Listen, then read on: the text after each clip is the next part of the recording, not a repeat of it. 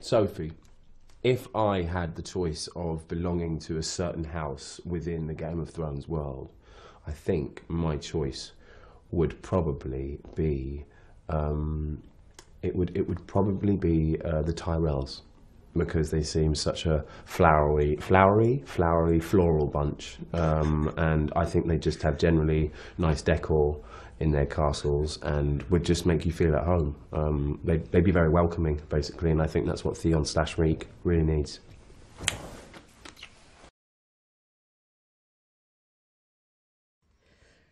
Oh, Well, Doris, what a question. would you like to go first? no, no, it's for you. Oh, if, I'm not famous, so I can't answer that one. well, not am I really. But Anyway, um, I don't. I. It can be.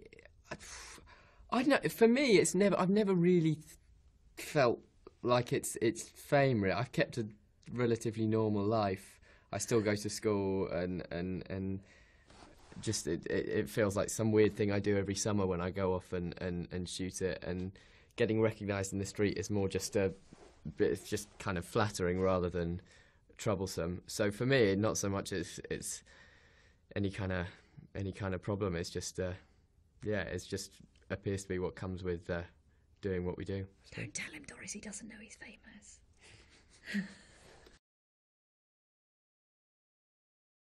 Well, if if he said her alive, I would have said uh, Robb Stark all along. I just think he always had the right ideas, and he seemed to always be uh, uh, acting on a on a the right set of principles. And I th- I think he's all about fairness, and he's all about family, and he's all about he's all about being motivated for the right reasons. And that's why I'd say Robb Stark, Leia.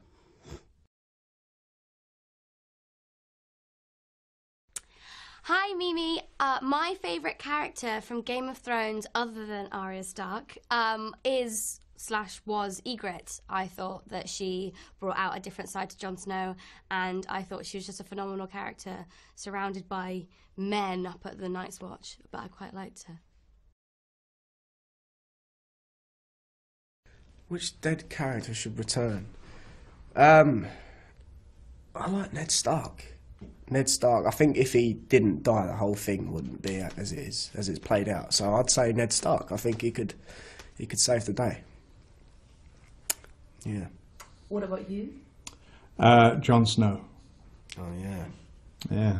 Yeah. Don't forget Jon Snow. Don't forget that, dude. Eh? Damn.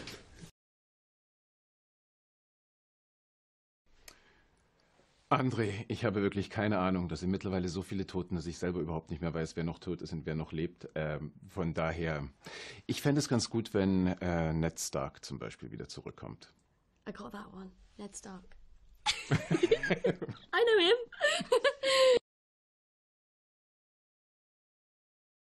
people do separate me from her all. I think, yeah, I think I, I think you can kind. I think a from other things that I've done, maybe that people um, know that I'm I'm not a complete psychopath.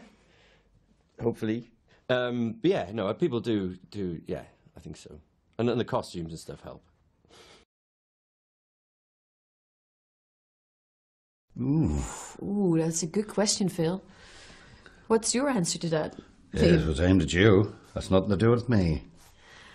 As a character or as a as a as a as an actor? But you've never brought back anybody. No, but I mean this is the Well, it's question. If hypothetical. you I mean kill or save basically. Kill or save. Okay. I probably would bring back Jon Snow.